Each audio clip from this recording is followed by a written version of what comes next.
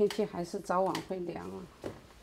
我第一次接触自工，我就发觉到，自工或是义工，就是你在当下做的时候，你一定要有爱心，你一定要有耐心，你一定要有同理心，然后你要认真、热情去做，这样你做下来，你才觉得说这是叫做自工。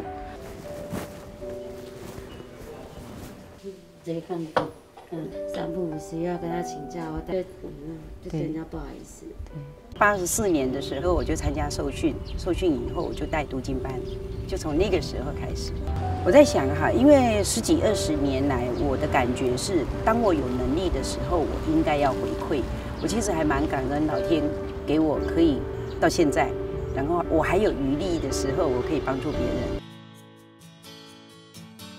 我当志工已经二十五年，这里还没有文化局。以前我是在新竹市文化中心担任九年多，是为家乡出一点力，所以我才会回到新竹县来。志工都没有当过，你不是觉得这个人生很遗憾吗？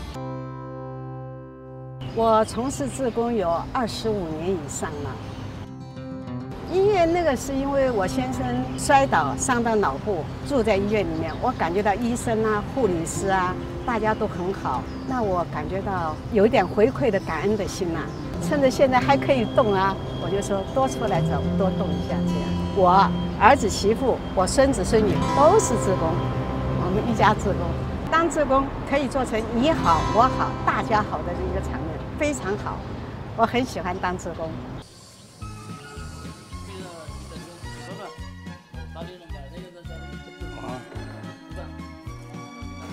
他刚进入是一年一年多，因为他确实他身体也没有那么好，他是非常的愿意做这个工作。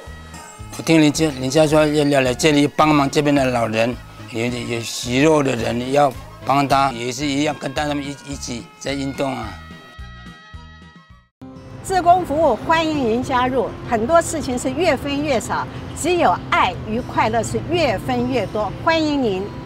志工服务邀你加入，志工服务欢迎加入。